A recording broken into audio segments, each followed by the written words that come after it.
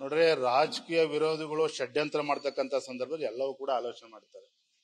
ಆದ್ರೆ ಇಷ್ಟು ಮಾತನ್ನ ಸ್ಪಷ್ಟವಾಗಿ ಹೇಳ್ತಾನೆ, ಇವನ್ನೆಲ್ಲ ಮೆಟ್ಟಿ ನಿಲ್ತಕ್ಕಂಥ ಧೈರ್ಯ, ತಾಕತ್ತು ಆ ಶಕ್ತಿ, ಆ ದೇವ್ರು ನನಗೆ ಕೊಟ್ಟಿದ್ದಾನೆ, ಆ ಭಗವಂತ ಕೊಟ್ಟಿದ್ದಾನೆ, ಆ ಬುದ್ಧಿಶಕ್ತಿನೂ ನಮಗಿದೆ. ಇದು ಯಾವ ರೀತಿ ಇಂತ ಹತ್ತು, ಇನ್ನೂ ನೂರ ಆರೋಪ ಬಂದ್ರು ಕೂಡ ಇದು ಎದುರಿಸ್ತಾನೆ, ಅದ್ರ ಬಗ್ಗೆ ತಲೆ ಕೆಡ್ಸ್ಕೊಳ್ಳೋದಿಲ್ಲ. ರಾಜಕೀಯ ವಿರೋಧಿಗಳು ಅಂತ ಮಾತ್ರ ಹೇಳಿದ್ದಾನೆ. ಅಷ್ಟು ಮಾತ್ರ ಈ ಸಂದರ್ಭದಲ್ಲಿ ಹೇಳ್ತಾನೆ. ಗೊತ್ತಾಗುತ್ತೆ, ಬರೋ ದಿನಗಳಲ್ಲಿ ಗೊತ್ತಾಗ್ತದೆ. ರಾಜಕೀಯ ವಿರೋಧಿಗಳು ಎಲ್ಲರೂ ಕೈವಾಡನೂ ಇದೆ ಇದರಲ್ಲಿ. ಬಿಜೆಪಿ ಅಂತ ಹೇಳ್ತಾ ಇಲ್ಲ. ರಾಜಕೀಯ ವಿರೋಧಿಗಳ ಕೈವಾಡ ಇದರಲ್ಲಿ ನೂರಕ್ ನೂರಷ್ಟು ಇದೆ. ಆದ್ರೆ ಇದೆಲ್ಲವನ್ನು ಕೂಡ ಎದುರಿಸ್ತೇವೆ.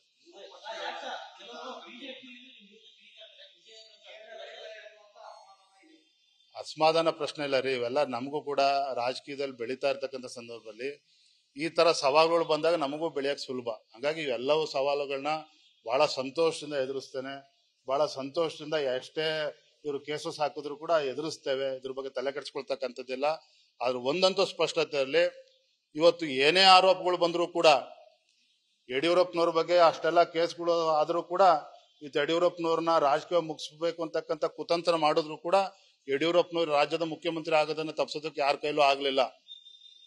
ರಾಜಕೀಯ ವಿರೋಧಿಗಳು ಏನೇ ಷಡ್ಯಂತ್ರ ಮಾಡಿದ್ರು ಯಡಿಯೂರಪ್ಪನವರ ರಾಜಕೀಯ ಮುಗಿಸ್ಬೇಕು ಅಂತಕ್ಕಂಥ ಪ್ರಯತ್ನ ಹುನ್ನಾರ ಏನ್ ಮಾಡಿದ್ರು ಇದು ಯಾವ್ದ್ರಲ್ಲೂ ಕೂಡ ಯಶಸ್ವಿ ಆಗಲಿಲ್ಲ. ಆಗಿಲ್ಲ. ಮುಂದನೂ ಕೂಡ ಇದರಲ್ಲಿ ಯಶಸ್ವಿ ಆಗಲ್ಲ. ಯಡಿಯೂರಪ್ಪನವರು ಯಾವತ್ತೂ ಕೂಡ ಹೇಳಿದರು ರಾಜ್ಯದಲ್ಲಿ ಮತ್ತೊಮ್ಮೆ ಭಾರತೀಯ ಜನತಾ ಪಕ್ಷವನ್ನ ಸ್ಪಷ್ಟ ಬಹುಮತದೊಂದಿಗೆ ಅಧಿಕಾರಕ್ಕೆ ತರ್ತೇನೆ ಅಂತಕ್ಕಂಥ ಮಾತನ್ನ ಯಡಿಯೂರಪ್ಪನವರು ಹೇಳಿದ್ದಾರೆ. ಹಾಗಾಗಿ ಅವರು ಕೂಡ ಮುನ್ನುಗ್ಗಿ ಇವತ್ತು ಪಕ್ಷ ಸಂಘಟನೆ ಕೆಲಸವನ್ನ ಮಾಡ್ತಾರೆ. ಇನ್ನ ನನ್ನ ವಿಚಾರ, ಇವತ್ತು ವಿಜಯೇಂದ್ರ ರಾಜಕೀಯದಲ್ಲಿ ಎಷ್ಟು ಬೆಳಿಬೇಕು, ಯಾವ ಮಟ್ಟಕ್ಕೆ ಬೆಳಿಬೇಕು, ಅದು ಕೇಂದ್ರ ನಾಯಕರ ಒಂದು ಆಶೀರ್ವಾದ ಇರ್ತದೆ ರಾಜ್ಯ ರಾಜ್ಯದ ಹಿರಿಯರ ಒಂದು ಆಶೀರ್ವಾದ ಇರ್ತದೆ.